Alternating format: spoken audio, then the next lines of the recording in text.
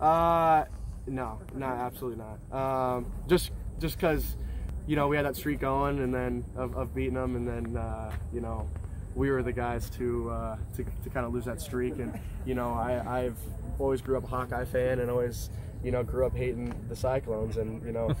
But I guess that's that. You know, that's part of the game, and, and you know, props off to them. You know, but um, we have a new opportunity this week, and we have you know ten more games left. So um, there's a lot of upside and a lot of things to look forward to. Are you good at Are you good at ignoring the outside noise? Yeah, I've gotten I've gotten pretty good at it. Um, you know, I kind of learned to stay off Twitter and Instagram.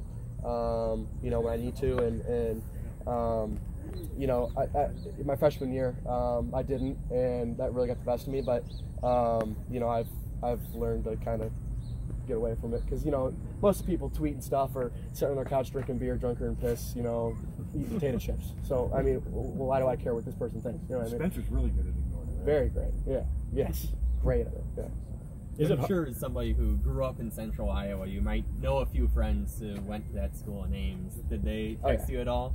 Uh, I had a couple of them, but you know they usually they usually cheer for me, and they were cheering for me on on uh, Saturday, and you know they gave me a text, you know, uh, tough loss, but you know uh, we support you and stuff. So that was nice to see. But yeah, I know kind of answered this a little bit. This is Spencer's roommate, good buddy. Um, is it hard to kind of imagine kind of what he, he goes through, not only as a quarterback, but trying to deal deal with this crazy outside world about people loving you, then hating you, then thinking Mhm. you're the worst? Is it, it how, how would you respond to all that? yeah. Uh, you know, I don't know to be honest with you. I, I can't even imagine it to be honest. Because I've gotten on Twitter, I've seen some of the stuff, and I don't think uh, I don't know how well I'd cope with that. To be honest with you, um, just because I, I I guess it's natural for me to uh, kind of feed off the people around me, and, and um, you know, some people's opinions matter and some some others don't. But it's really hard sometimes when everyone is is negative towards you. So um, he does a great job of, of just focus on what he needs to focus on. What's it like two getting? More. What's it like getting to see Terry back out there after missing so much time last year? yeah, it's it's cool seeing him run around and, and having fun. You know, he, he brings a lot of juice and energy, um, especially in the DB room, and, and he, he's always positive and, and he, he's just a fun guy to be around. So he brings us up in, in the room. I want to ask you about Quinn.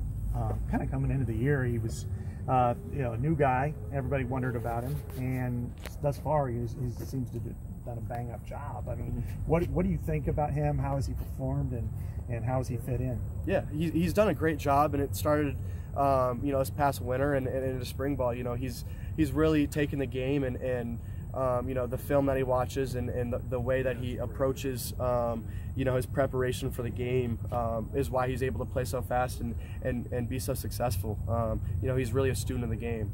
So like Jack before him. I mean, not Mhm. built the same way, not close, but Yeah. but just mentally and being in the right place Mhm. and then arriving in ill humor, as they would say. Yeah, yeah.